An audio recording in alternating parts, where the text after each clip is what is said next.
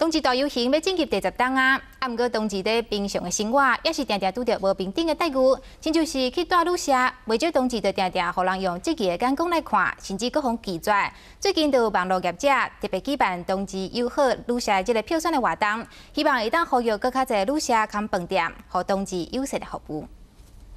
同志朋友出外佚佗，住旅馆或是饭店，常常拄着难题，除了有当时会遭受无共款的眼光，或者是直接被拒绝。刚性同伴大做伙，常常拄着无友善的状况。当我们进去房间之后，你会发觉所有的备品的提供都是还是针对一男跟一女，可能他看到两个男人，就直接就帮我们安排两张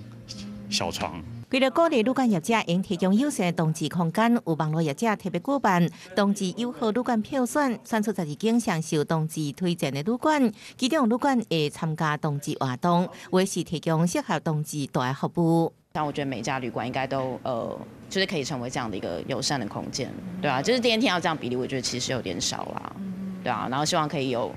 就是更多的旅馆可以就是晋升成为这样的一个。呃，环境。目前台湾冬季人口推算差不多是两百多万，不过相对国内冬季旅馆的比例却是真少。因望未来有更加多旅馆提供无性别差异服务，可因伫外口待时阵，也影响受到优先对待。记者综合报道。